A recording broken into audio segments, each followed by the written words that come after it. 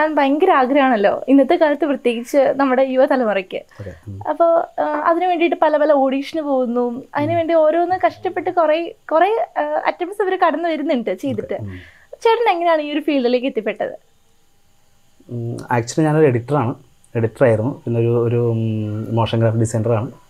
അപ്പോൾ അങ്ങനെ കൂടുതലും ഞാൻ ഈ സ്റ്റുഡിയോയിലോ സ്റ്റുഡിയോയുടെ അകത്ത് തന്നെയാണ് കൂടുതലും ജോലി ചെയ്തുകൊണ്ടിരുന്നത്. അപ്പോൾ ഒരു വർഷങ്ങളായിട്ട് ഞാൻ സ്റ്റുഡിയോയുടെ അകത്ത് തന്നെയാണ് ചെയ്തുകൊണ്ടിരുന്നത്. അപ്പോൾ ഒരുപാട് ഷോർട്ട് ഫിലിംസ് ചെയ്യുന്നുണ്ടായിരുന്നു മ്യൂസിക് ആൽബംസ് പിന്നെ അതുപോലെ തന്നെ ചെറിയ ചെറിയ അനിമേഷൻ എഡിറ്റിംഗ് ഇതൊക്കെയാണ് ചെയ്തിട്ടുണ്ടായിരുന്നു പിന്നെ കോർപ്പറേറ്റ് വീഡിയോസ് അങ്ങനെ ഒരു എഡിറ്റിംഗ് ഇതുമായിട്ട് ബന്ധപ്പെട്ട് ഒരുപാട് വർക്കുകൾ ചെയ്തുകൊണ്ടിരിക്കുമ്പോൾ നമുക്ക് ഓൾറെഡി ഈ ഷോർട്ട് ഫിലിംസ് എഡിറ്റ് എഡിറ്റ് ചെയ്യാൻ വരുമ്പോൾ നമുക്കൊരു ആഗ്രഹം ഉണ്ടാവുമല്ലോ.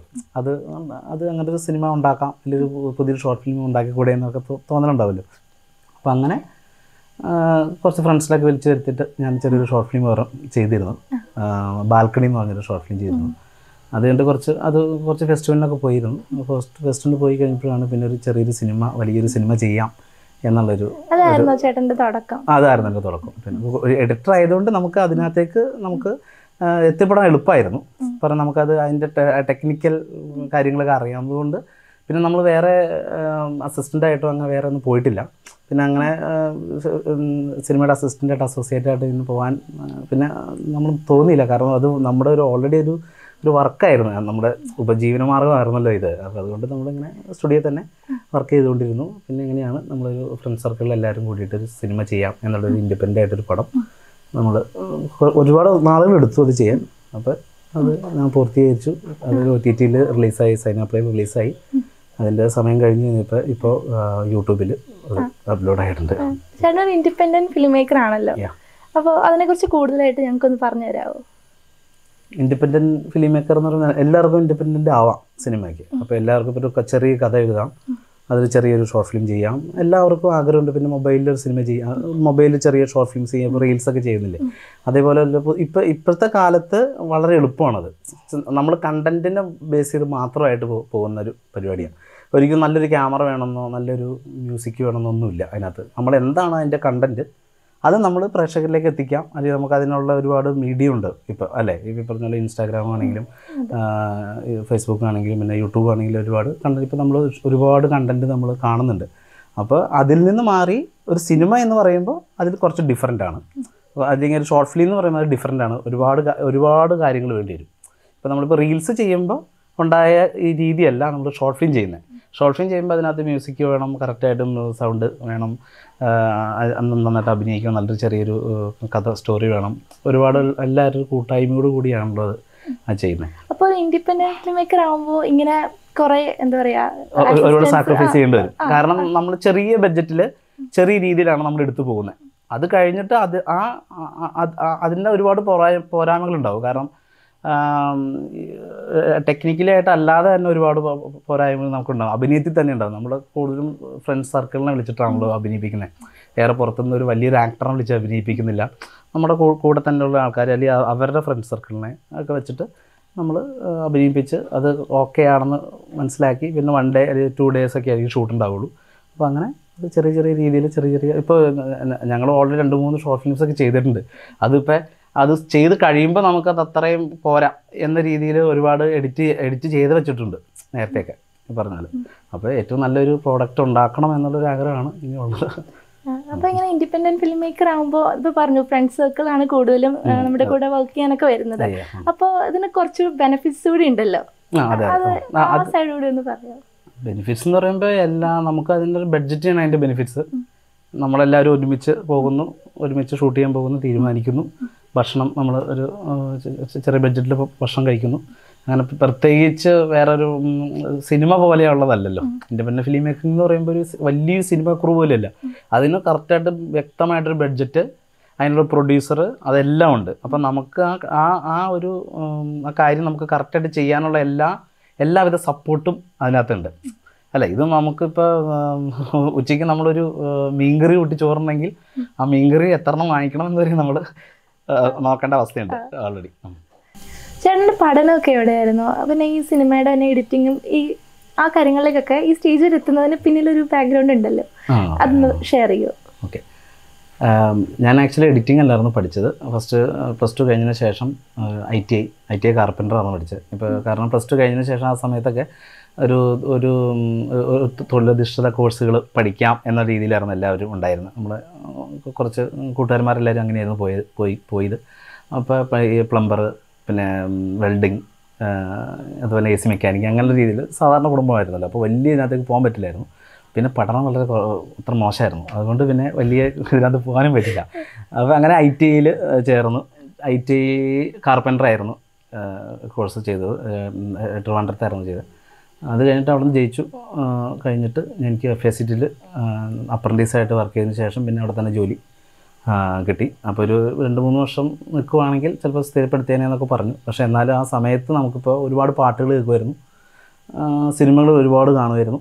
പണ്ട് തൊട്ടേ സിനിമകൾ എപ്പോഴും എല്ലാ വെള്ളിയാഴ്ച വൈകുന്നേരങ്ങളിലും സിനിമ വന്നത് നോക്ക് നോക്കുമായിരുന്നു തിയേറ്ററിലെ അടുത്തൊക്കെ പോയിട്ട്. അപ്പോൾ അങ്ങനെ ശനിയാഴ്ച ഞായറാഴ്ചയൊക്കെ സിനിമയൊക്കെ കാണാൻ പോകും. അപ്പോൾ ഇപ്പോഴും നമുക്ക് സിനിമയും ഇതുമായിട്ട് ബന്ധപ്പെട്ട് ഭയങ്കര ഇഷ്ടമാണ്. പക്ഷെ അത് എന്ത് പഠിച്ചാലാണ് സിനിമ ചെയ്യാൻ പറ്റുന്നതെന്ന് അറിയില്ല. സിനിമ കാണുക എന്ന് മാത്രമേ ഉള്ളൂ ഈ പറഞ്ഞത് അപ്പോൾ അങ്ങനെ ഇഷ്ടപ്പെട്ട ഒരു മേഖല തന്നെയായിരുന്നു. പിന്നീടാണ് ഞാൻ ബാ അപ്പോൾ ആ സമയത്ത് ഞാൻ ഫെസിലിറ്റിയിൽ വർക്ക് ചെയ്തിരുന്ന സമയത്ത് എൻ- എന്റെ ഒരു ചേട്ടനുണ്ട് മുരളി എന്ന് പറഞ്ഞ. പുള്ളിക്കാരൻ മ്യൂറൽ പെയിന്റിങ് ആർട്ടിസ്റ്റാണ് പുള്ളി ബാംഗ്ലൂർ വർക്ക് ചെയ്തുകൊണ്ടിരിക്കുക അപ്പോൾ ഫാമിലിയായിട്ട് അവിടെ വർക്ക് ചെയ്തുകൊണ്ടിരിക്കുകയായിരുന്നു അപ്പോൾ ഞാൻ അപ്പോൾ എന്നോട് പറഞ്ഞു ഇങ്ങോട്ട് വാ. നമുക്ക് നിങ്ങൾക്ക് പറ്റിയ പരിപാടിയല്ല അത്. നിങ്ങൾക്ക് ഇവിടെ വന്നിട്ട് ഒരു എന്തെങ്കിലും കോഴ്സ് ചെയ്യാം അനിമേഷൻ ചെയ്യാം എന്നൊക്കെ പറഞ്ഞിട്ട് പിന്നെ ഞാൻ ബാംഗ്ലൂരിലേക്ക് ഇവിടെ നിന്ന് പോയി. കാരണം ഇവിടെ ഇവിടെ ജോലി ആറ് മാസമേ ഉള്ളൂ എന്ന് പറഞ്ഞിട്ട് വീട്ടിൽ മനോഹരനായിട്ടാണ് പോയത് ഈ പറഞ്ഞാൽ എന്നിട്ട് അപ്പോൾ ആറുമാസം ജോലി തീർന്നല്ലോ. അല്ലെ ഓക്കെ. എന്നിട്ട് പിന്നീട് ഞാൻ ബാംഗ്ലൂരിൽ പോയി അവിടെ പോയി അനിമേഷൻ പഠിച്ചു എഡിറ്റിംഗ് പഠിച്ചു.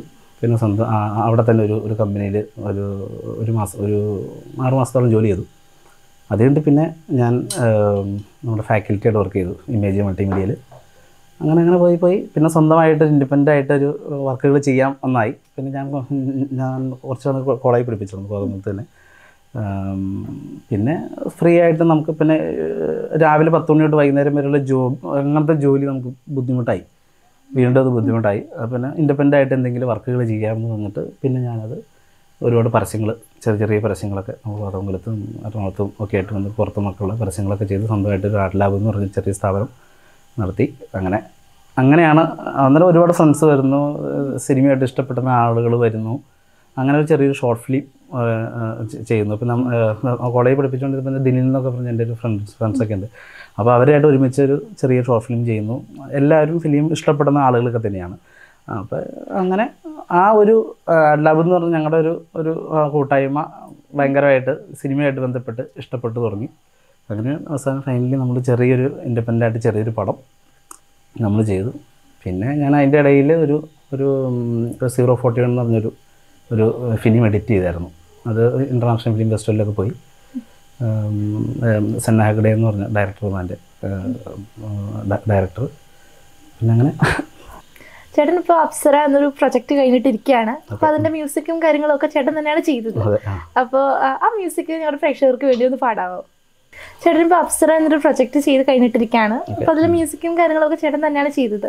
അപ്പോൾ അതിനകത്ത് മ്യൂസിക് ഭയങ്കര ട്രെൻഡിങ് ആയ ഒരു മ്യൂസിക് ആയിരുന്നു. അത് ചേട്ടൻ ഞങ്ങളുടെ പ്രേക്ഷകർക്ക് വേണ്ടിയിട്ടൊന്ന് പാടാവോ? കണ്ണിൽ നീ മയ്യവളേ കാതൽ ഓവിയമേ. നീ കാറ്റാക വന്നാലും നനയാനാനേ എനിക്ക് അതിന്റെ വരി ഇപ്പം മറന്നുപോയി. പറഞ്ഞത് പറഞ്ഞ ഇത് പാടിയത് സച്ചിൻ. സച്ചിൻ രാജാണത് പാടിയത്. നമ്മളിപ്പോൾ പാട്ട് പറഞ്ഞു കൊടുക്കല്ലേ ഉള്ളൂ. എനിക്ക് ലിറിക്സ് കറക്റ്റ് പെട്ടെന്ന് കിട്ടുന്നില്ലായിരുന്നു. ആക്ച്വലി ഈ സിനിമയുടെ പാട്ട് ഓൾറെഡി ഞാൻ അത് ഈ എന്താണ് കോവിഡിന്റെ സമയത്തായിരുന്നു. ലാസ്റ്റ് സെക്കൻഡ് കോവിഡിന്റെ സമയത്തായിരുന്നു നമ്മളിത് ചെയ്തത്. അപ്പോൾ ആ സമയത്ത് നമ്മൾ മ്യൂസിക് ഡയറക്ഷനും കൂടി ചെയ്യാനുള്ള വേറെ ആൾക്ക് പൈസ കൊടുക്കാനുള്ളതൊന്നും ഇല്ലാത്തതുകൊണ്ട് പിന്നെ നമ്മുടെ ഈ ഈ സിനിമ ചെയ്തുകൊണ്ടിരിക്കുമ്പോഴും എഡിറ്റ് ചെയ്തുകൊണ്ടിരിക്കുമ്പോഴും അല്ലെങ്കിൽ നമ്മളതിന്റെ പ്രോജക്റ്റ് നമ്മൾ എഴുതിക്കൊണ്ടിരിക്കുമ്പോഴൊക്കെ നമ്മുടെ മനസ്സിലൊരു ഒരു ഫീൽ കിട്ടും എപ്പോഴും. നമ്മളൊരു ഒരു എന്തെങ്കിലും പറ്റി നമ്മൾ എഴുതിക്കൊണ്ടിരിക്കുമ്പോൾ അതൊരു മ്യൂസിക്കായിട്ട് നമ്മുടെ കയ്യിൽ ഫീൽ ഉണ്ടാവും. അപ്പോൾ ആ ഫീലിലുണ്ടായ ചെറിയൊരു സ്പാർക്കാണ് ഈ പാട്ടുണ്ടായത് ഇനി പുതിയൊരു പാട്ടുണ്ടാക്കാൻ പോയി കഴിഞ്ഞാൽ ചിലപ്പോൾ ഞാൻ ചെയ്യില്ലായിരിക്കും. അപ്പോൾ അങ്ങനെ ഒരു ഒരു അപ്പോൾ എന്റെ ഫ്രണ്ടിനോട് ഇങ്ങനെ ഈ സംഭവം പറഞ്ഞ് കേൾപ്പിച്ചു. അത് കൊള്ളാം ഒരു പാട്ട് പാടി കേൾപ്പിച്ചു. അപ്പോൾ കൊള്ളാമെന്ന് പറഞ്ഞു. പിന്നെ അതുപോലെ തന്നെ ബാലാന്റണി പപ്പു എന്ന് പറഞ്ഞ നമ്മുടെ ഫ്രണ്ട് ഉണ്ടായിരുന്നു. പുള്ളിക്കാരൻ തമിഴാണ്. പുള്ളിക്കാരൻ തമിഴിൽ ലിറിക്സ് എഴുതി തന്നു. ഞാൻ ജസ്റ്റ് ഒരു ലിറിക്സ് ഒരു ഡമ്മി ചെയ്തു. അത് കഴിഞ്ഞിട്ട് അത് അത് ലിറിക്സ് ചെയ്തു. പിന്നെ അത് പാട്ടാക്കി മാറ്റി നല്ല രീതിയിൽ ഓർക്കസ്ട്രേഷനൊക്കെ ചെയ്ത് പാട്ടാക്കി മാറ്റി അത് ആ സിനിമയിൽ രണ്ട് സോങ്ങാണുള്ളത് ഒരു തം ഒരു മലയാളം സോങ് ഉണ്ട് ഒരു തമിഴ് സോങ്ങാണുള്ളത് പിന്നെ സ്കോറൊക്കെ ചെയ്തത് വേറെ ആളാണ്. സാമു ലബി എന്ന് പറഞ്ഞ ഒരു മ്യൂസിക് ഡയറക്ടറാണ് സ്കോറൊക്കെ ചെയ്തത് അപ്പോൾ ആ പാട്ട് രണ്ടും മാത്രമാണ് ചെയ്തത്. ഓക്കെ അപ്പൊ ചേട്ടൻ പുതിയതായിട്ട് എന്തെങ്കിലും പ്രൊജക്ട് ചെയ്യാനായിട്ട് പ്ലാൻ ഉണ്ടോ? ഇപ്പൊ എന്തെങ്കിലും ചെയ്തുകൊണ്ടിരിക്കുകയാണോ ആ അപ്പോൾ ഒരു പുതിയൊരു പ്രോജക്റ്റ് അതിന്റെ അതിന്റെ അതിന്റെ വർക്കിങ്ങിലാണ് ഓൾറെഡി ഓഡിഷൻ ഒക്കെ കഴിഞ്ഞു. നമ്മൾ കോതമംഗലം ബേസ് ചെയ്തിട്ടുള്ള ഒരു സബ്ജക്റ്റാണ് അപ്പോൾ കോതമംഗലത്തെ ആളുകളുടെ ഒരു സ്ലാങ് ബേസ് ചെയ്തിട്ടാണ് ആ സിനിമ പോകുന്നത് കോതമംഗലത്തെ ആൾക്കാരുടെ സ്ലാങ് ഒക്കെ ബേസ് ചെയ്തിട്ടാകുമ്പോ അപ്പോൾ അതിനകത്ത് കൂടുതലും കോതമംഗലത്തെ ആൾക്കാർ എടുക്കാൻ ചാൻസ് ഉണ്ടോ? കൂടുതൽ ഒരു നൂറോളം നൂറ്റമ്പതോളം ആളുകളെ ഇപ്പോൾ പുതുമുഖങ്ങളെ വെച്ചിട്ടാണ് സിനിമ പ്ലാൻ ചെയ്തിരിക്കുന്നത് അപ്പോൾ ഡിസംബറിൽ തുടങ്ങുമെന്ന് പ്രതീക്ഷിക്കുന്നു. അപ്പൊ നമ്മുടെ പ്രേക്ഷകർക്ക് ആർക്കെങ്കിലും താല്പര്യം ഉണ്ടെങ്കിൽ ചേട്ടന്റെ അടുത്ത് കോൺടാക്ട് ചെയ്യാട്ടോ കേട്ടോ. നമ്മുടെ കോതമംഗലം ബേസ് ചെയ്ത് കോതമംഗലം സ്ലാങ്ങിനെ ബേസ് ചെയ്തൊക്കെയാണ് ചെയ്യുന്നത്. അപ്പോൾ ആർക്കെങ്കിലും എൻക്വയറീസ് എന്തെങ്കിലും ഉണ്ടെങ്കിൽ ചേട്ടന്റെ അടുത്ത് കോൺടാക്ട് ചെയ്യാവുന്നതാണ്. ഓക്കെ ഓക്കെ താങ്ക് യു അപ്പോൾ ഏതായാലും ഇപ്പോൾ അതിന്റെ വർക്കുകൾ നടന്നുകൊണ്ടിരിക്കുന്നു. ഡിസംബർ ലാസ്റ്റൊക്കെ ആകുമ്പോഴത്തേക്കും ആകും എന്ന് പ്രതീക്ഷിക്കുന്നു. ഓക്കെ അപ്പൊ ചേട്ടന്റെ പുതിയ പ്രൊജക്ടിന് എല്ലാവിധ ആശംസകളും നേരുന്നു. ഞങ്ങളോടൊപ്പം ഇത്ര നേരം സമയം ചിലവഴിച്ചതിന് ഒത്തിരി നന്ദിയുണ്ട്. അപ്പൊ ഞങ്ങളുടെ കെ സി ബി കുടുംബത്തിന്റെ ഓണാശംസകൾ നേരുന്നു. ഓക്കെ താങ്ക് യു എല്ലാ കെ സി പ്രേക്ഷകർക്കും എന്റെ ഓണാശംസകൾ.